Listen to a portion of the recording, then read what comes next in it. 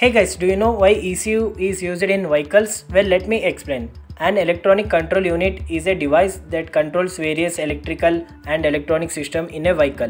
It acts as the brain of the system, receiving inputs from sensor, processing the data and sending output signals to actuators and other components to control their operation. ECU contains microprocessor, memory, input and output circuits and a specialized software that is designed to perform specific functions. ECUs can be found in wide range of applications from automotive engine management systems to industrial process control systems. In automotive application, the ECU is responsible for controlling engine fuel injection, ignition timing, and other critical parameters to ensure that engine operates efficiently. It can also control other systems such as transmission, braking, and suspension system.